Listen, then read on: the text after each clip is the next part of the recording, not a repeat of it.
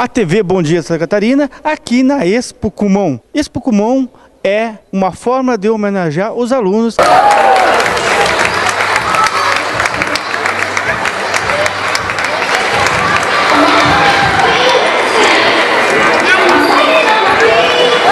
Que homenagem é esta que é feita para os alunos do Cumon? Todos os alunos que se matriculam em nossas unidades, o nosso sonho é que eles desenvolvam o seu potencial ao máximo.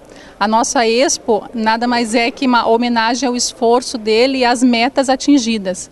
Nós traçamos metas para os alunos alcançar voos cada vez maiores, ganhando medalha de bronze, prata, ouro, atingindo conteúdos ah, elevados além da série escolar deles como disciplina e outras atividades. Então, os alunos que com mérito, esforço e disciplina atingiram essas metas, hoje eles vêm aqui receber uma homenagem. Expo Cumon e curitibanos também participando e veio aqui homenagear seus alunos. Estamos muito felizes por por estarmos aqui pela quarta vez, juntamente com a unidade de Joaçaba, para homenagearmos os nossos alunos, curitibanos é, a cada ano com mais alunos homenageados, é, desenvolvendo o seu potencial ao máximo possível, é, conseguindo é, superar os seus limites, é, se, se preparando melhor para a vida. Estamos muito felizes e esperamos o ano que vem participarmos novamente com a professora Carla, daqui de Joaçaba.